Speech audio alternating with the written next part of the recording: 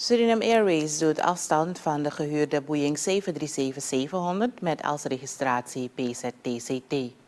De National Carrier maakt in een persbericht bekend dat vanwege de precaire financiële situatie van het bedrijf zij niet tijdig heeft kunnen voldoen aan de betalingsverplichtingen aan het leasebedrijf. De eerste keer dat het toestel aan de ketting is gezet was in april van dit jaar, eveneens in Miami. Minister Armand Agaibersing van Financiën kwam toen in met een bedrag van 650.000 US dollar om het vliegtuig los te krijgen. De SLM heeft daarom besloten dat zij dit vliegtuig commercieel operationeel niet meer mag inzetten. Suriname Airways heeft intussen haar 85 gestrande passagiers middels overboekingen via Georgetown naar Paramaribo vervoerd. Om de continuïteit van het bedrijf te garanderen wordt er hard gewerkt aan het herstelplan om het bedrijf weer gezond te maken. Zo meldde SLM in een persbericht.